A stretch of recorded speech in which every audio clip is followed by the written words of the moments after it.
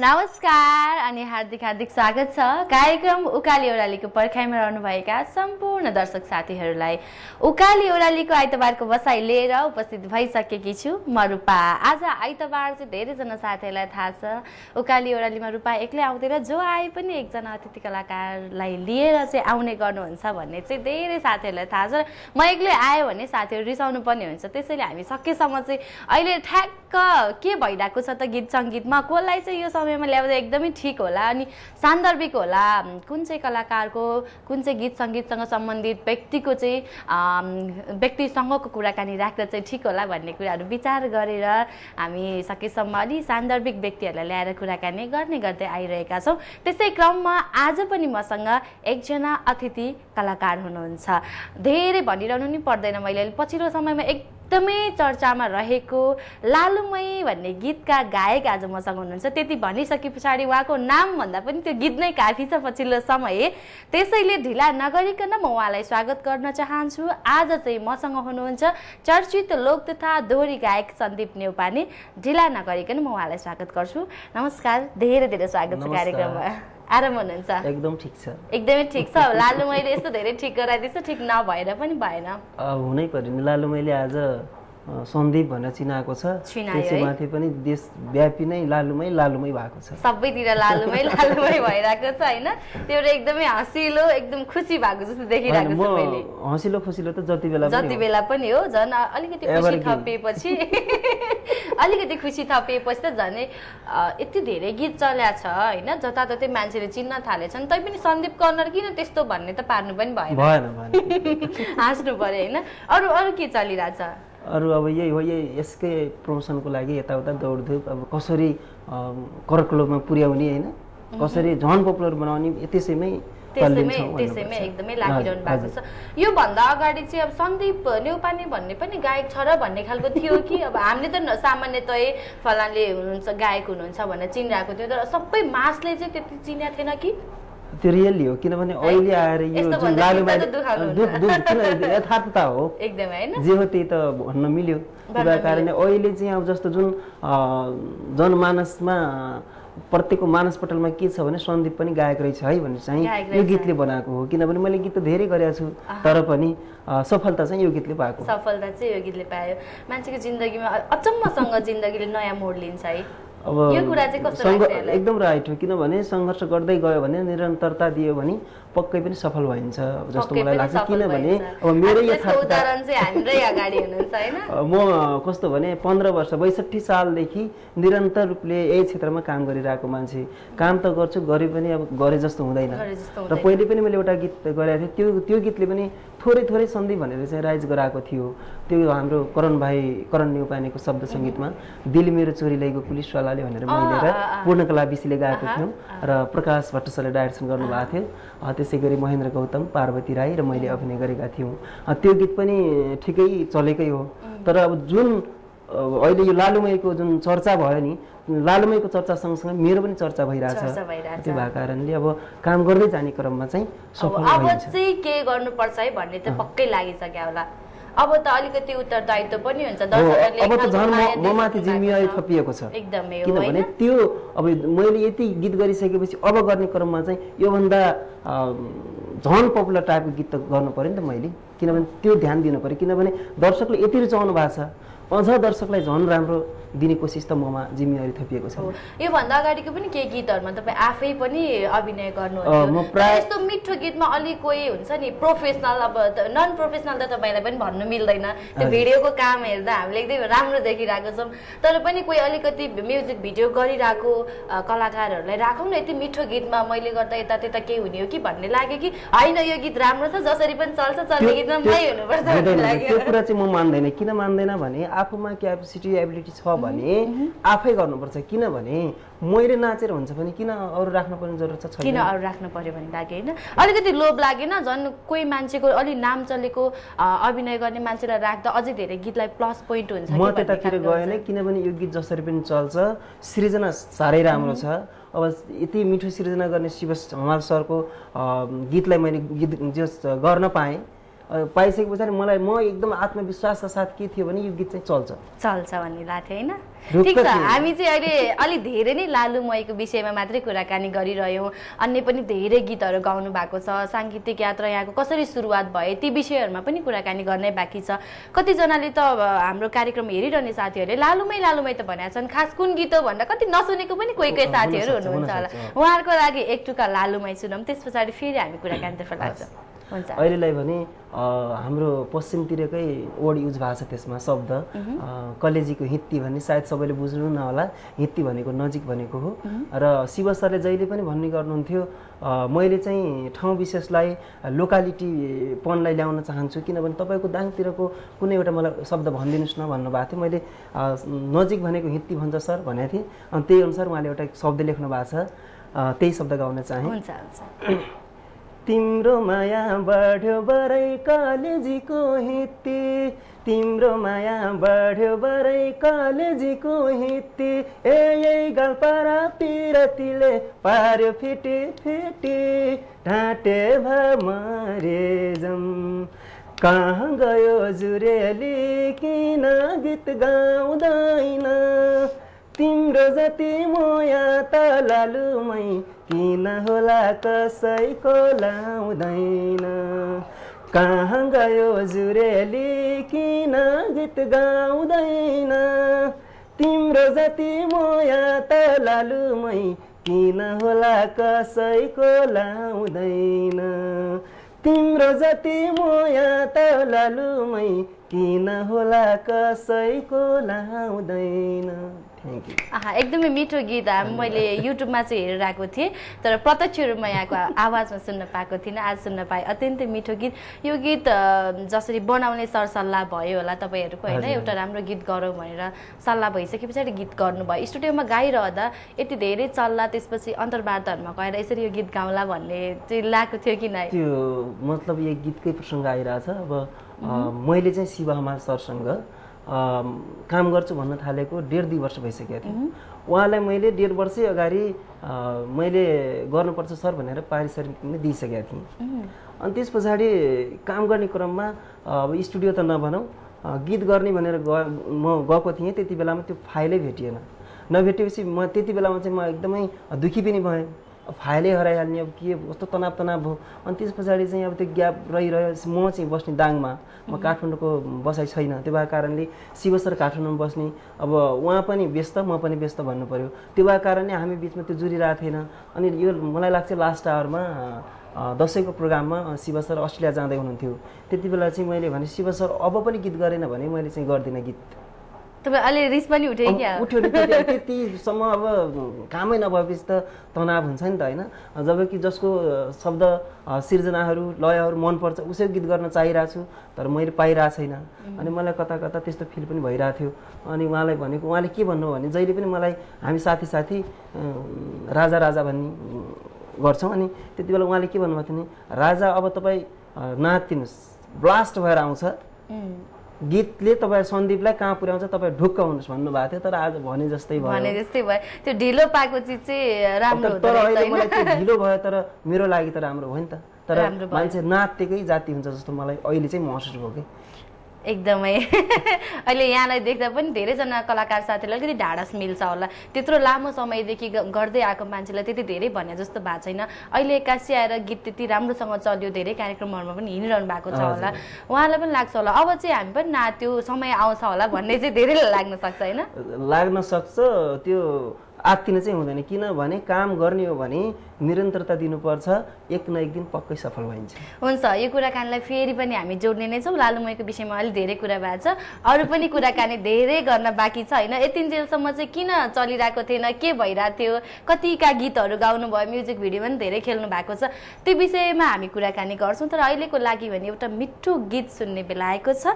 एउटा मिठो गीत सुनेर हामी सबैजनाले रमाइलो गरौँ। गीत पछाडि हामी फेरि आउनेछौँ।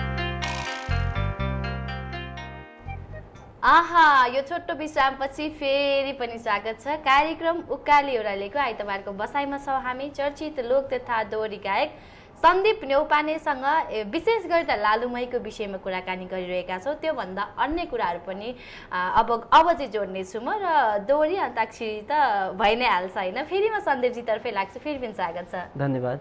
फेरि अब अलिकति पछाडि फर्क्यौँ हामी होइन? साङ्गीतिक यात्रा कसरी सुरु भयो यहाँको साङ्गीतिक यात्रा भन्नुपर्दा मैले अघि पनि भने बैसठी सालबाट मैले जो साङ्गीतिक यात्रालाई पछ्याउँदै गएँ। जाने क्रममा म चाहिँ सुरुमा सुरुका दिनहरूमा लाइभ दोहोरी गाउने मान्छे प्रतियोगी गायकको रूपबाट जस आउँदै गर्ने क्रममा दुई हजार अडसट्ठी सालमा मैले एउटा गीत गरेका थिएँ।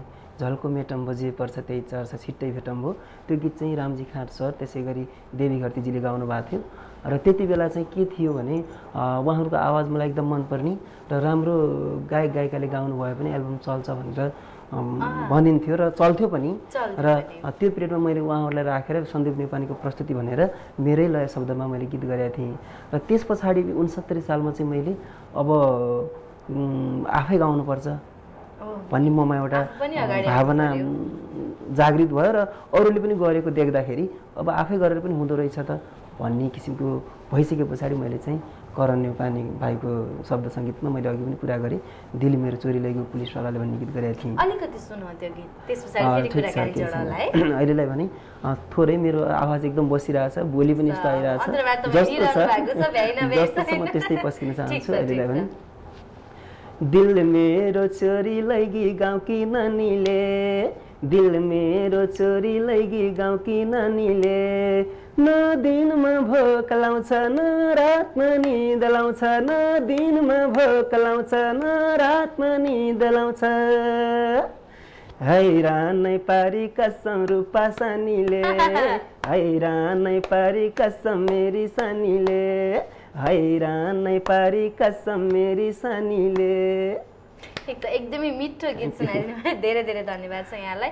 प्रायः जसो कलाकारितामा जो पनि लाग्नुहुन्छ गीत गाउनुहुन्छ होइन म एउटा सफल गायक बन्छु सफल सङ्गीतकार बन्छु भनेर लाग्नुहुन्छ उहाँहरू चाहिँ काठमाडौँ नै आएर सङ्घर्ष गरिरहेको देख्छु म धेरैजनालाई। तपाईँलाई चाहिँ किन यता आएर बस्ने खालको किन भएन कि? मलाई चाहिँ के लाग्छ भने मान्छे जहाँ बसेर पनि काम गर्न सक्छ। र मैले म दाङमा बसे तापनि काठमाडौँमा बसेको कलाकार सर मैले काम गरिरहेको छु त। है? भने म यहीँ बस्नुपर्छ भन्ने जस्तो मलाई लाग्छ अलिकति यता आयो भने धेरै सहज हुन्थ्यो जस्तो महसुस भएन। त्यो पनि अब बाध्यता पनि हुन्छन् व्यवस्थाहरू। म एउटा जब होल्डर भएको कारणले म लमै खानेपानीमा काम गर्ने मान्छे अकाउन्टको काम गर्छु।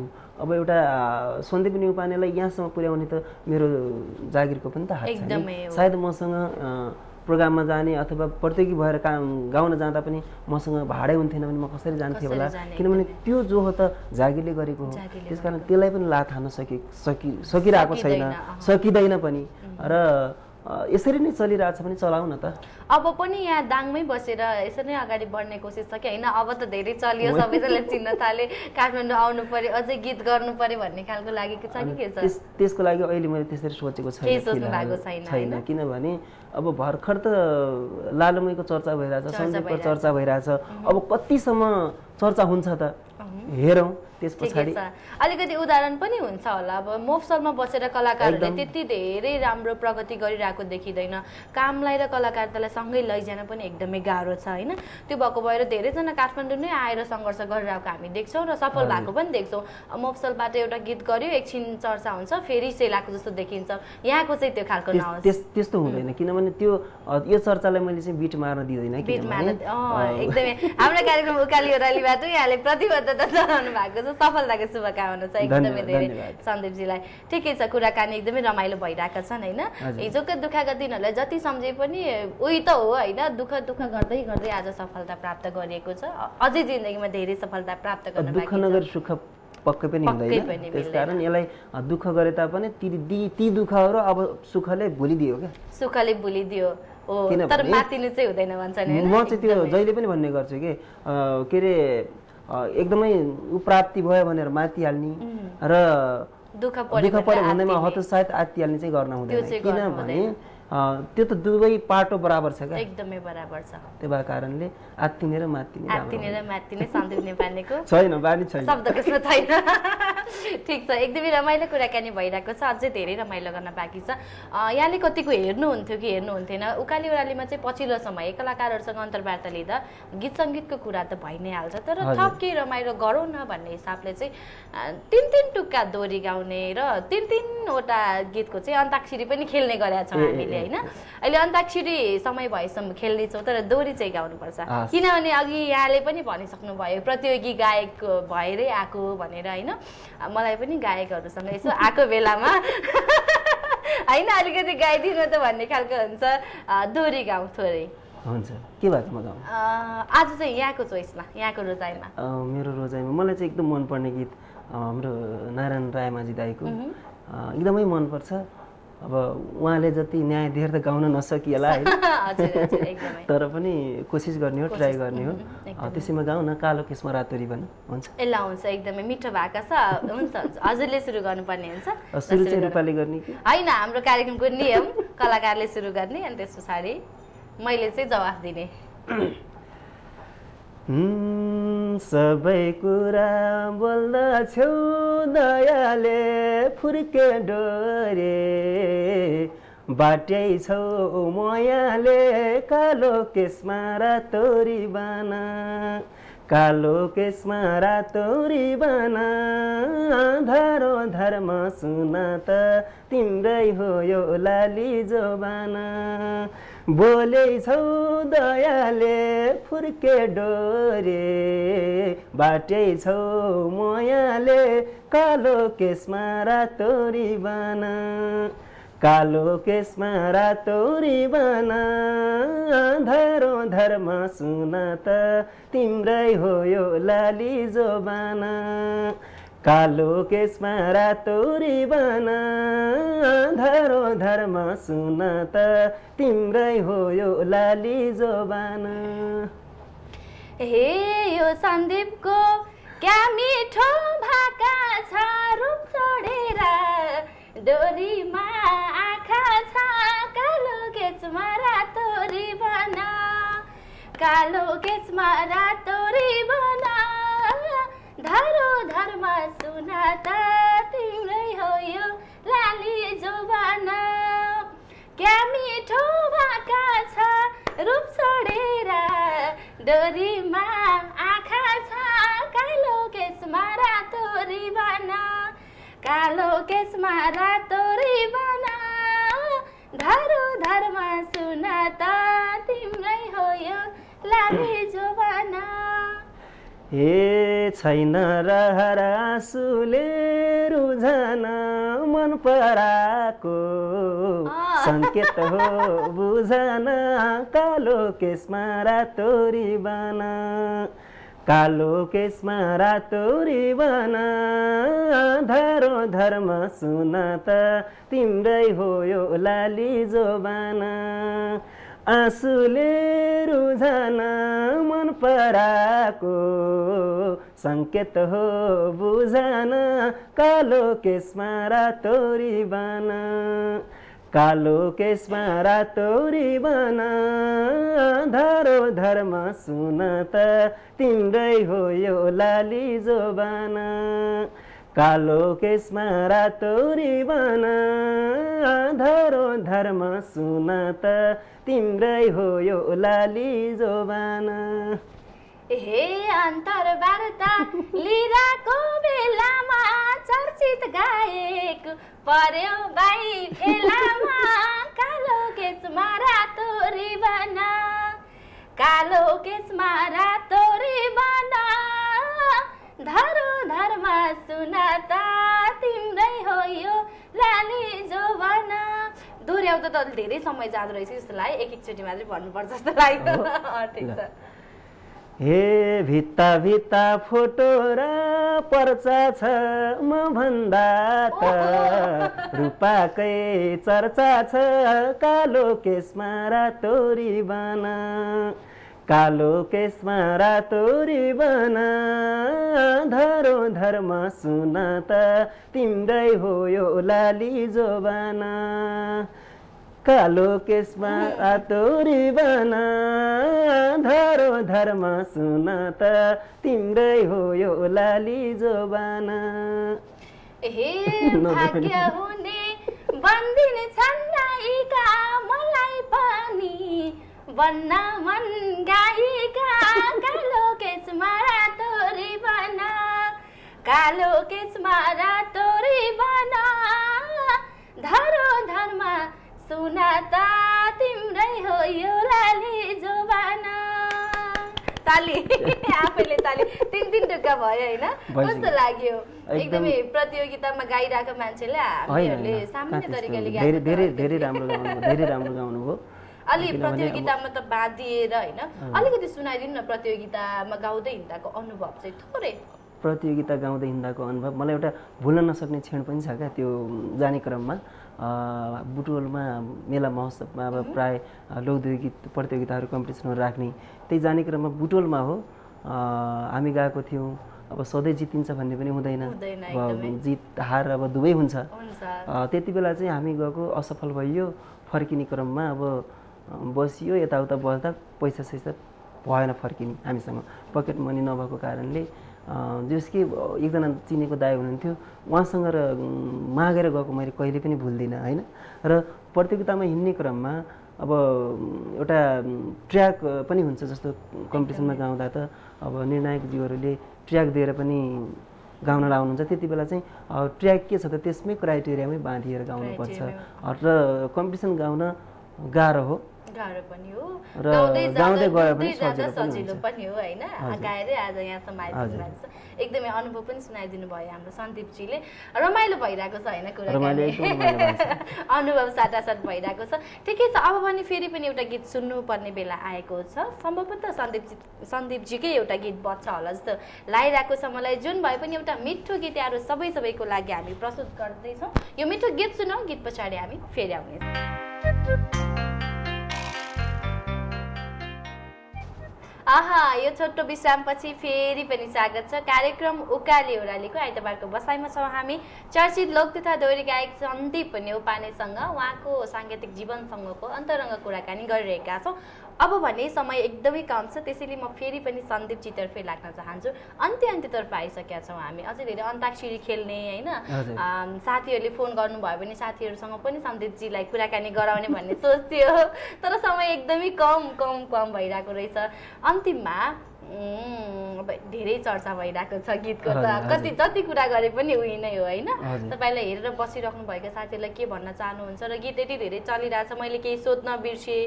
कि तपाईँलाई भन्न मन लागेका कुराहरू? के के छन्? सबै एकमुष्ट रूपमा दर्शक साथीहरूलाई भनिदिनु होला। अन्तमा चाहिँ मैले के भन्न चाहेँ भने विशेष त जुन लालुमैको अहिले चर्चा भएको छ यो लालुमै गीत बनाएर मलाई एउटा गाउने अवसर प्रदान गर्नुहुने बहुचर्चित सर्जक गायक मेरो आदरणीय साथी प्यारो साथी होइन? शिव हमाल सरलाई म हृदयदेखि नै धन्यवाद दिन चाहन्छु र यसमा सबैजनाको हातमा हात साथमा साथ काँधमा काँध भएरै आज लालुमै लालुमै भएको हो।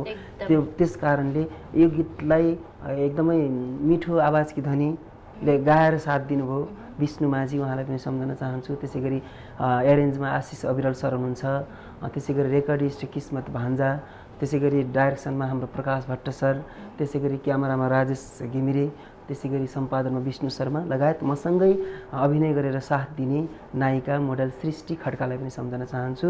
र समस्त दर्शक वृन्दहरूलाई मैले के भन्न चाहन्छु भने आज तिस दिन गइरहेको छ यो गीत हालेको युट्युबमा र साठी लाखले हेरिसक्नु भएको छ भनेको एकदमै मलाई माया गर्नुभएको छ। तर आदरणीय दर्शक वृन्दहरूलाई मैले फेरि पनि हात जोडेर नमन गर्न चाहेँ किनभने अझै मलाई हजुरको माया पुगेको छैन। यो माया मलाई अगाएकै छैन किनभने मलाई नगाउन्जेलसम्म मलाई माया दिनुहोस्। किनभने अझै पनि हेर्नु भएको छैन भने हे हेरिदिनुहोस् सेयर गरिदिनुहोस् भन्न चाहन्छु। किनभने म एउटा धेरै सङ्घर्ष गरेर दुःख गरेर आज बल्ल मैले यो सफलता पाएको जस्तो मैले महसुस गरेको छु त्यो भएको कारणले मैले सबै दर्शक वृन्दलाई मैले अनुरोध गर्न चाहेँ र आज यहाँसम्म यो इमेज च्यानलसम्म यो प्रोग्राममा मलाई बोलाएर साथ दिनुहुने एझोल इमेज च्यानलका टिमलाई म धन्यवाद दिन चाहन्छु।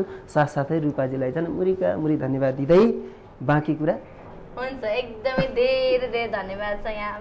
व्यस्त हुनुहुन्थ्यो होला गीत चलिरहेको छ अब प्रमोसनदेखि लिएर होइन कार्यक्रमहरूमा पनि हिँडिराख्ने मान्छे। त्यही माथि फेरि यहाँको राजधानीभन्दा बाहिर छ बसाइ। हरेक कुराहरूको व्यवस्था मैले त छोटो समयलाई छोपेर अब कता इन्टरभ्यू हुन्छ कता प्रमोसन हुन्छ कता प्रोग्राम हुन्छ सबै मिलाउनु पर्ने हुन्छ। किनभने छोटो समय लिएर आउँछु। त्यो भएको आज यहाँ आउने अवसर प्रदान गरियो। एकदमै कुराकानी एकदमै कुराकानी राख्न मन लागिरहेको थियो मलाई पनि गीत यति धेरै चलिराखेको थियो होइन? कुराकानी गर्ने मौका जुट्यो। आज यहाँसम्म आइदिनु भयो। सन्दीपजीलाई धेरै धेरै धन्यवाद। र यतिन्जेलसम्म हामीलाई हेरेर साथ दिनुहुने सबै सबै दर्शक साथीहरूलाई धेरै धेरै धन्यवाद व्यक्त गर्न चाहन्छु।